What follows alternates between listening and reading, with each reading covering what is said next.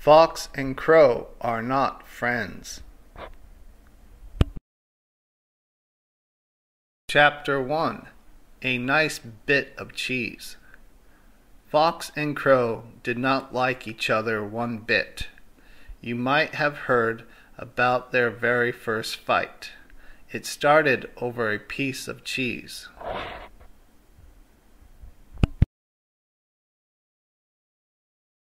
Crow found it first. She flew to a tree to eat it. Fox spotted the big hunk of cheese. He loved a nice bit of cheese. Crow was about to gulp it down. Fox had to act fast. Hello, Crow, he called. How are you on this fine day?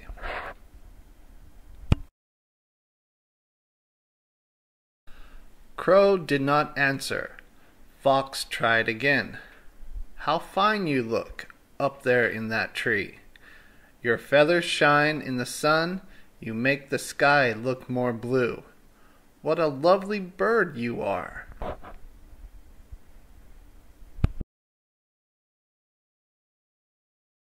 Crow was pleased. She gave her wings a proud flap.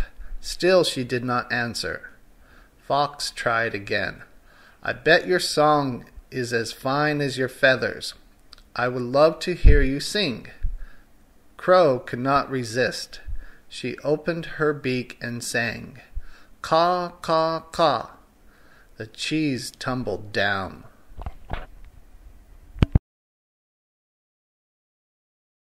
It fell right into Fox's mouth. He gobbled it up lickety split. He licked his lips and laughed. Crow glared at Fox. You had better watch out, Fox, she said. You may be a sly fox, but crows are very smart. You took my cheese. I will get even with you.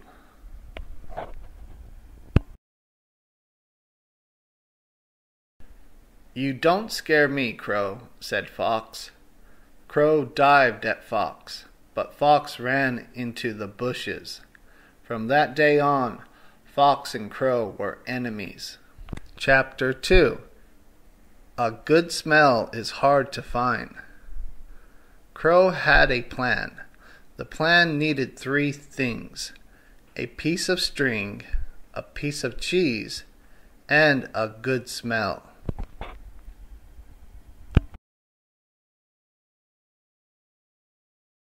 The string was easy to find. Crow tied one end to a tree. She looped the other end and placed it on the ground.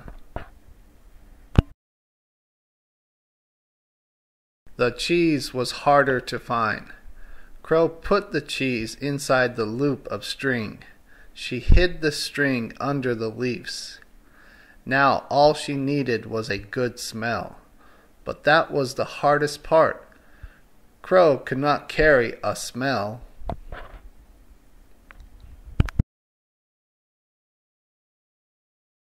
She saw some fish frying in a pan over a fire, but that was not a smell she could carry.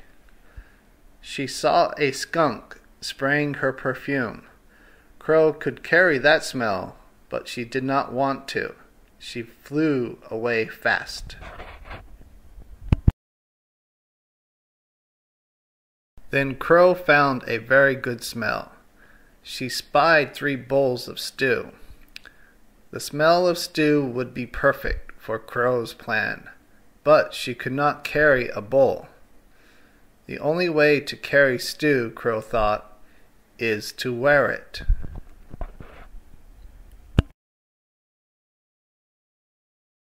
The stew in the big bowl was too hot. The stew in the middle bowl was too cold. The stew in the little bowl was just right. Crow could wear that stew. She poured it right over her head. It ran all over her feathers.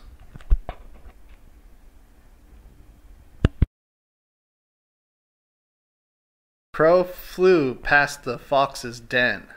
The good smell flew with her. Fox sniffed. The smell made his mouth water. Fox came out of his den. Crow flew from tree to tree, leading him along. Fox did not see her. He was following the good smell.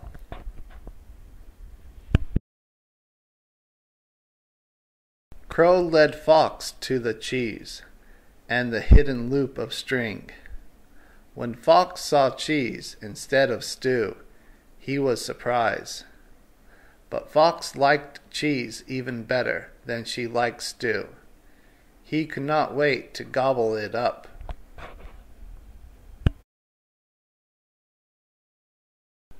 Crow pulled on the string. The loop closed tight around Fox's paw. He was trapped. The crow flew down and the fox flew up. Fox yelled. Crow laughed and laughed. Fox dropped the cheese right into Crow's open beak.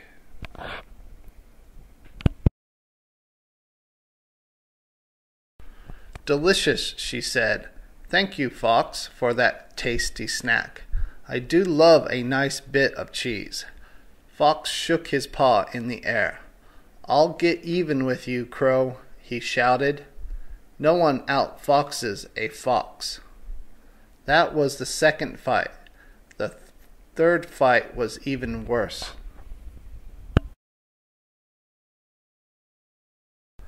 Chapter 3 Revenge is a dish best served with cheese. Fox fumed. He did not like flying up in the air. He did not like losing. He did not like Crow. He plotted a way to get even with her.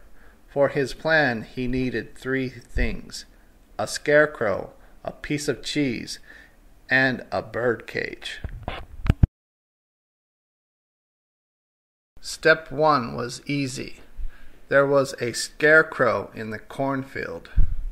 Step two was a little harder. He did not know where Crow kept finding all that cheese.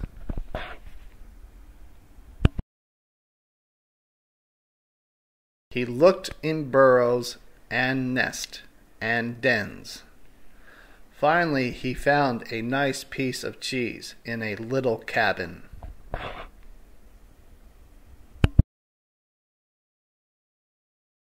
Fox found some wood and built a cage. Fox's plan was perfect. When he went to the cornfield, he hid the bird cage in a haystack. He hid himself in the scarecrow's clothes. He held out the cheese and waited.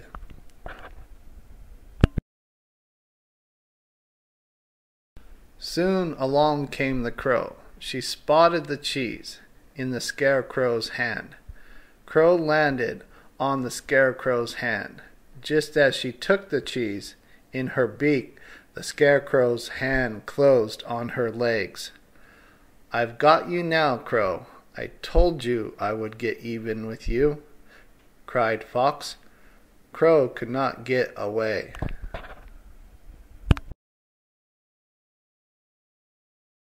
Fox shoved Crow into the bird cage and locked it tight.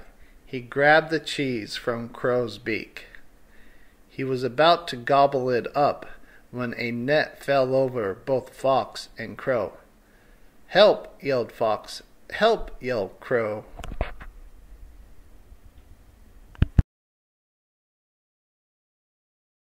I've got you now, Fox and Crow, said Mama Bear. That will teach you not to steal my cheese. Fox and Crow looked at each other. They were both sly, they were both smart, but they were not as sly or smart as Mama Bear.